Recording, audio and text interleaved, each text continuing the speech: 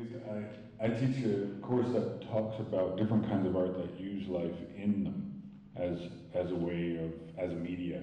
Uh, eco arts, food art, bio art, art for non-humans, and body arts. And I guess uh, for the sake of um, this conference, th- there's three ways to make non-human art. One is for non-humans, the other is with non-humans, and the third one is with non-humans. Which there's two kinds of with. Uh, if you do it for a non-human, you give the art to a mushroom and say, "I hope you like it." If you do it with a, with a dog, if you run around uh, on paint with a dog and then run around on canvas together, that's doing art collaboratively with a dog. If you cut the head off a dog and make monoprints of its bleeding neck, that's a different kind of working with a dog.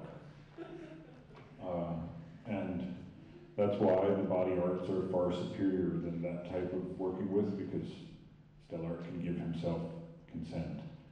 Uh, that's not what I came to talk to you about. I came to talk to you about fear of, of uh, mutation, right, itself. Why are people afraid of mutation? What is mutaphobia? Um, so first, I just want to establish everybody in the room is a mutant, all right? What I wanted to talk to you about is mutaphobia, like why, why shouldn't we engineer the human genome and what people have to say.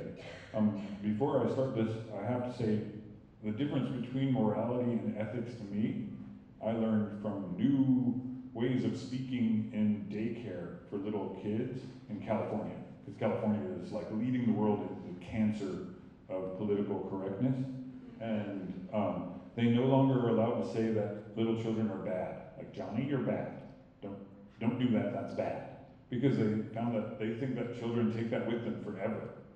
Like, I'm bad. I'm permanently bad. So what they've been saying now is, Johnny, that is not okay. and that's that's ethics instead of morality. so here, let me take you through the festival of mutaphobia, and this covers mutant phobia, human phobia, enigma enigmaphobia, pathogenophobia, and boomerangophobia. Okay. Uh, I would just say no to mutant phobia because mutant phobia is not okay. And that's because we're all mutants. Like, even though we're 99% clones of each other, everybody in this room, I don't recognize anyone as exactly the next person over. Like, you're all different. And we're so close that I know that there's some mutation in all of us. This one is 4 million rats. I'm gonna just dump them on the counter. Um, yeah. That's a whole lot of rats. And then, in order to make this science, these are just radish seeds. Uh, because I don't want the panel to hate me. There. You guys get the control seeds, and so if everyone has an effect and, and more and more gradation, we can we can check these guys out and say like that was that was before that mutagenic effect. Uh, you can probably tell that this film is showing tomorrow night and Saturday and Sunday. I want to thank the Art and Genomic Center for letting me go hog wild, we call it in the States, with these pheasants. And you'll learn more about it if you see the film. Uh, it's called Dangerous Liaisons. But we basically, I'm just trying to let you know that I really do this stuff.